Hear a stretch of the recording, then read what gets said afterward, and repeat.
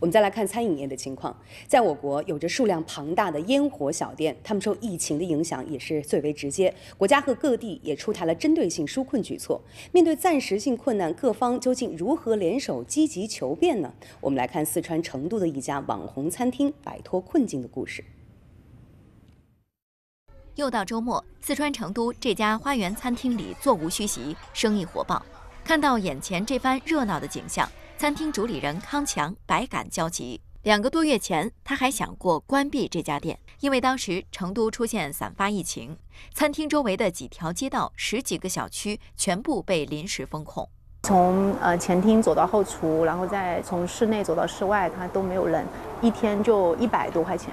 五百多平方米的场地租金要交，三十多个员工需要支付工资，巨大的压力让康强不堪重负。硬性成本的三十多，再加上一个十五万的一个产品费用，每天挣开来就是几万块钱。正当康强一筹莫展的时候，四月十一号，成都市出台“助企健康发展三十条”，通过减免房租、补贴发放、税收减免等政策，帮助企业渡过难关。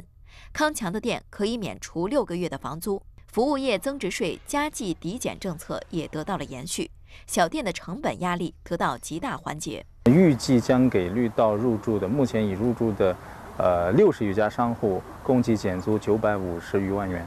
康强餐厅所在的环城生态公园还免费为商家们开放了门口的草坪区域。自从我们有了这样的外摆区域，看了一下营业额数据，就至少增长了百分之十。